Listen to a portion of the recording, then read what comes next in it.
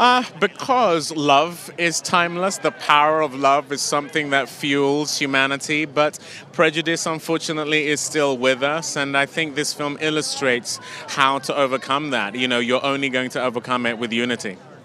And you really wanted to work with director Amma Asante. How was it to work with her in this piece? Yeah, I mean, I, you know, I'd worked with her about 18 years ago uh, uh, when she was a writer, and then I'd seen her film Belle, and the treatment of the, the love story and the politics in that was absolutely what we needed for our film. But, you know, both being of African descent, also she's an unashamed romantic, and I wanted that for the film because I love a good love story. I haven't seen one quite as unashamed as this uh, recently, and I, I, I knew she was the perfect candidate to bring it to the screen. How long has a United Kingdom been a goal and dream for you and David? It came into David's life about six years ago, and he has been. And at the time, there wasn't a script; there was um, a book, and the rights had been got for the book, and so um, it's been a long process of uh, going through different iterations of the script, trying to find the right people to be involved, trying to find the right director. And what you see tonight on screen is the incredible moment where all of those things came together and created this beautiful film to tell this wonderful story. I play Lady Lily Canning, who is truly a villain, but she believes that she's the hero of the story, of course. Everyone believes they're the hero of their own story, but she truly was someone who uh, was very much against the beautiful thing of two people falling in love and they didn't care what they each other looked like they just they just loved one another to the very core of their beings but lady lily didn't like that and how does it feel to be on that side of the good bad divide well to tell any story, you usually have to have a villain involved. You've got to give our hero something to overcome. So Jack Davenport and I, and Tom Felton and Charlotte, we all had to play these awful people with as much truth as we could to give the hero, the true heroes of this story as much as possible to overcome. And what's so wonderful and awful about us as British people is the ability to be polite while we're being incredibly rude and horrible and so Lady Lily is is is all about and Jack Davenport playing Lord Canning and Tom Felton and anyone else playing someone from the British Empire. We uh, we all had to believe that what we were doing was right and that we were holding on to something that was true. But what we were doing was being um, kind and polite through gritted teeth, longing to break up the union of these two beautiful people. It's a, it's a wonderful script. I didn't know the story at all before I read the script. So, yeah, I, if it hadn't been true, I, it still would have been an exciting project. But the fact that it's a true story really is remarkable when you come to a script like this. There's a massive theme in this about love. Where do you think your character fit into that? Oh, well, I guess you would talk about sisterly love with Muriel. Um, she uh, she loves her sister Ruth. She loves Seretse. She loves going to these dances. Um, as, as, you hear in the film, she only wants to convert them. That's possibly a bit of a harsh um, analysis of Muriel's intentions. I think, yeah, she likes the idea, of, you know, of, of making everyone feel at home. She loves meeting these charming men from Africa. But unlike Ruth, she's um, she hasn't gone so far as to fall in love with him. Um, but yeah, I think yeah, you'll see a, a, beautiful love between sisters, understanding each other, wanting the best for each other, um, being fearful for their well-being, and then and trusting that they know what's best for them. I think that's it, and I think that was very true of these two real-life women who remained very close until until they died. So. Um, it's responsibility taking on that, and I, I hope that we've done them justice. And it was definitely something that Rosamund and I were conscious of. Um, was this very important sisterly relationship. And this story, I mean, it's from the 40s. It's being told now. It could be told again in the future. What do you think makes it so timeless? Well, I think we always need reminding um, that love is love is love, um, and I think that's really important. And we need to shout about it and not do what I just did there, which was a British squirming thing, but say it loudly and, and proudly and not be cynical. And I think, you know, we need more films like this to really celebrate that. And yeah, it's very exciting. Um, it's heady, to be honest. And um, yeah, the longer I spend on this carpet, the more aware I am of how huge it is. So um, yeah, I'm delighted. I love the script and the story and the actors. I mean, some of these actors that I got to work with was insane. It's, it's easily the best bit of my job. Well, I've got to say, you were starring alongside David, and how was that to be starring alongside those kind of actors? Great. David's a lovely, lovely man, a lovely, mild, quiet guy, you know, and then the camera can turn on and he can turn it into anything you want. You know, he's a brilliant actor. He was lovely. And what about the director, Amma Asante? How was it working with her? She was great. She was amazing. She shoots very, very fast. Uh, she knows exactly what she, exactly what she wants, which is always great. Um, you know, she could run anything. She could run anything. She could run an army. And how does it feel being at the opening of London Film Festival? It's really great. It's really great. I've never been, and I think it's quite exciting. No, I've never been. Um, for this role, I listened to tapes and tapes and tapes of Tony talking, of him. Uh, he dictated all his diaries every single night. So um, there's a whole library there, and it was fascinating to hear his to hear his opinions and thoughts. That's all I did, really. Yeah.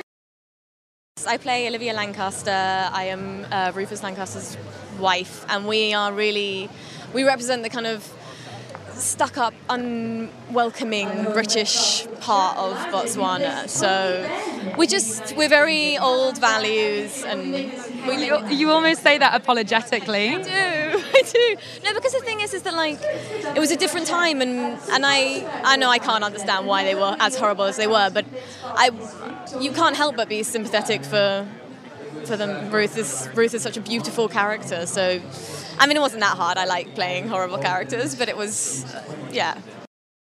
I did on Game of Thrones. I played much worse, so really this was a walk in the park. It's the thing is you have to understand it from their perspective. So with this one, it, it was a, it really was. It was a different time, and like there were just completely different set of etiquettes and different upbringing. So I, I think it's as much as my character's ignorance why she's as racist effectively as she is that it is because she's in her heart a bad person. She thought she was doing right. She thought she was protecting her country and probably Ruth as well. Like she she wanted to look out for her, just she didn't quite know how to do it best.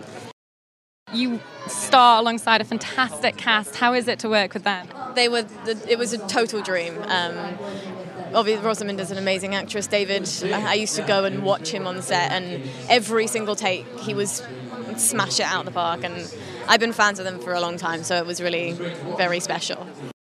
What would you think an audience should expect to see if they're coming to watch the film?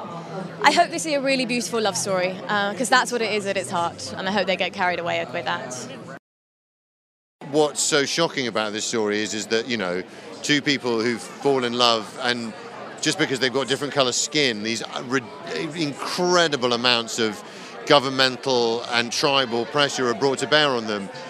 And you know they they refuse to back down and you know as a result are able to you know engender incredible change in their home country in a way that you know people don't often achieve You, you shared some quite tense scenes with David. Um, how was that on set? Well, I mean, look, uh, fine, because we're professional actors, so when it stops, we stop. But, you know, I have to be so unremittingly awful in this film that, you know, I mean, th- there were times when I didn't feel very good about myself for a minute or two uh, afterwards, but, you know, you, you dust yourself off and go home. So, but yeah, I, it's, it, there, I mean, when you're articulating some of the attitudes that my character has to articulate, it doesn't make you feel great. And what was it like shooting in those different conditions? You had London, then you had Botswana. Well, you know, I mean, uh, the useful thing I think in terms of how my character's portrayed in this is that, you know, it's the contrast between this sort of incredible opulence of these sort of establishment offices and panels and tusks and globes. And then you take and you know and it's all very intimidating. And then you take that character and you put him in a stupid hat and you put him in the middle of a field. And quite rightly he looks ridiculous because he is ridiculous. And i think that's important because you know there are a lot. We can we can either get, uh, you know, kind of overwrought by the the problems of intolerance, or we can, you know, a, a good way to to disempower a bully is to laugh at them, and so you know it was useful in terms of the way that character is presented to then suddenly, you know, only only he would wear a white linen suit or a hat covered in cockatoo feathers in that context. And you know, and uh, you know, that's a good. It's a good way of making them look silly. I mean, you know, uh, um, we have so few challenges, real challenges in our life, you know, that they had to face. And it's just a mirror to everybody to say, look, you think you've got problems? Take a look. Uh, and can and when it gets tough, you don't go run run away. You stick with it, and you make it work. If you made that commitment. And how is it to work with the director Amma Asante? Oh, there's nothing I can say about her that it's enough. I mean, she she she commands and deserves so much respect. She is such a beautiful person inside and out. Uh, it was a real pleasure. Every day she's got a great sense of humor. Uh, she's a total fashionista, so you never knew what she was going to wear during uh, the day, but just the nicest and best director I think I've ever had the opportunity to work with. And how does it feel to be back in Leicester Square? I love it. Are you kidding? It's just incredible. And especially for the London Film Festival, because it's such an important film for her, the actors, um, the writer. You know, it's great. It's absolutely great. I didn't actually make it to the opening of Seven here, but for all the special editions and episodes one, two, and three, it was incredible. You know, this you, you couldn't look anywhere, and there weren't people. There were people up on the roofs, everything. It was fantastic. Uh, but you know they're always special and they're all different each film you make and but those were that was a special moment in time and this is too for me so and what do you think the future of the Star Wars franchise is? I think it's going to be huge. Um, I think under Kathy Kennedy's realm, it's just going to keep going and get better and better and better. So I'm really excited about watching what she does and watching what happens. But it's all great because it's another generation. You know, I did one or two generations, and she gets to take it on until um, she passes it over to somebody else. Could you just tell us what you think the most important role of the producer is in the film? Well, it depends on what if you're doing television or film. Television is more of a producer's medium because directors are just hired and they go in and out. Uh, I mean, even now it's more of a writer's medium than a producer's medium. But film is a director's medium, and your job ultimately is once you agree with the director about the script, the budget, and the cast, and all the other things, your job is to support them 1,000% to exhaust all the possibilities in your imagination to get them everything they need to be able to create what's in their mind's eye. So you're a servant to them, and they're your leader, and your job is to serve them and be a real friend criticize them when they need to be, um, and just support them in every other level. Um, I never had to criticize her. I just got the chance to support her, so it was brilliant. This is a love story at heart. What is the most thing you wanted to capture about Ruth and Seretse's relationship, about their love? Courage, courage. The fact that these two met their match in each other in terms of courage and ability to withstand obstacles, even if they didn't know it. And so, although we watch them grow and we grow with them, they they, they didn't know what courage they had inside them until they met each other and until they were faced with with um, being told that as two consenting adults, they had no right to be together. It's crazy.